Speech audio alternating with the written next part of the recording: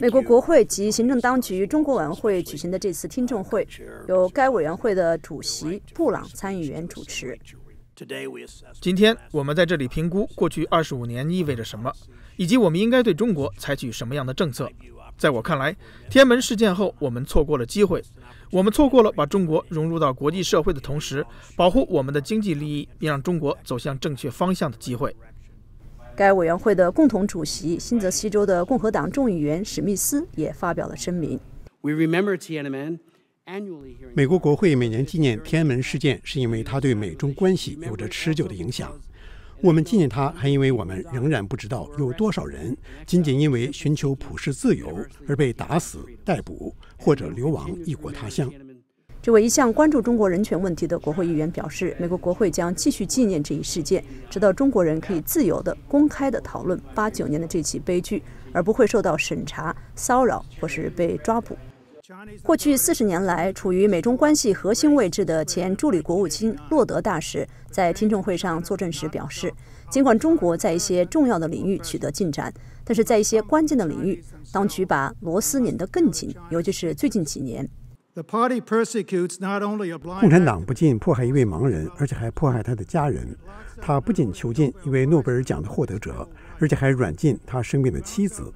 他不仅抓捕改革者，而且也抓捕那些捍卫改革的人。他不仅把那些制造麻烦的人关进监狱，而且还迫使他们在电视上认罪。他不仅不公平地对待西藏人，而且还惩罚那些邀请达赖喇嘛访问的政府。他不仅窒息国内的因特网与媒体，而且还威胁外国记者，导致从彭博新闻到好莱坞的自我审查。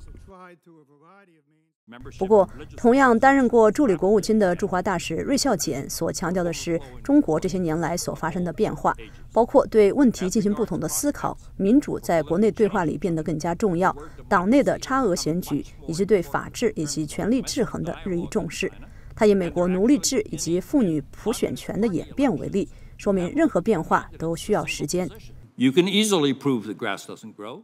可以轻易地证明地上的草没有长。拿把椅子坐到你家的院子里，几个小时盯着地上的草，看着它长，你会得到这些草没有长的实证。但是如果你等一个星期，你就可以得到这些草是在长的实证。换句话说，洛德大使所要的是中国在一个时间段里发生变化。而这种变化在别的社会发展过程中则是不现实的。洛德大使回应说：“就像很多有关中国的事情，很多事可以同时都是正确的。”他认同芮孝俭大使指出的有关中国的这些长期的趋势，但是他坚持认为中国最近几年在一些关键领域出现了倒退。他还表示，他并不指望绿草可以在一夜之间长出，但是出于中国自己的国家利益，事情可以进展得更快。在这场听证会举行的前一天，美国司法当局对五名中国人民解放军提出起诉，指控他们针对美国从事网络商业间谍活动。随着六四二十五周年纪念日的日益临近，美中关系还会出现什么新的变数呢？我们拭目以待。VOA 卫视，丽雅、岳成、火会山报道。